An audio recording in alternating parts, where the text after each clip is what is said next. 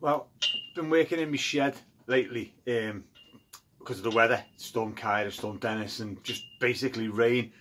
Uh, so I've just been doing a little few jobs that I needed to do. I've been putting this beam in my shed. Needed it for a while. The span was quite a bit, a bit too big without one. So I decided to put one in.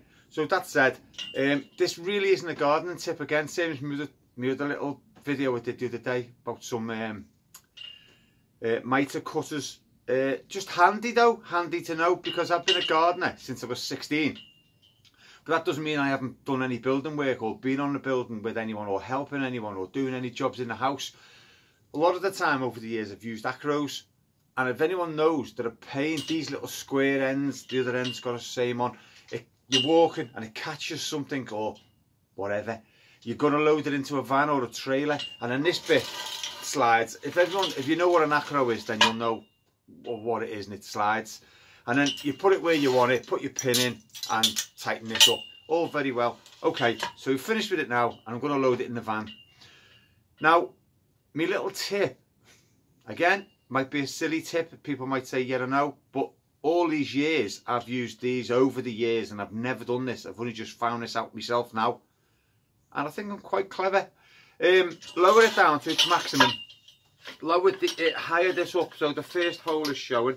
So you've got the first, can you just see that on the video?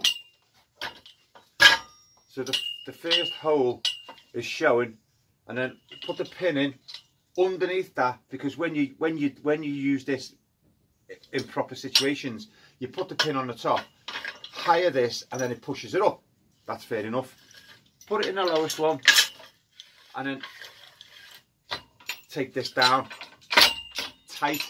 Now, if you're going to load it in the van and you do tip it up, you forget which end this is. Because believe it, or it happens, this doesn't come out. So, up here for thinking, down there for dancing.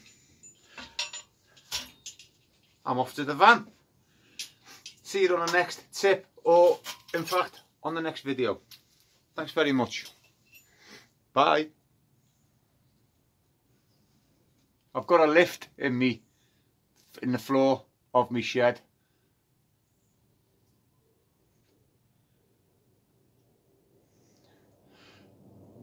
Honestly. Bye.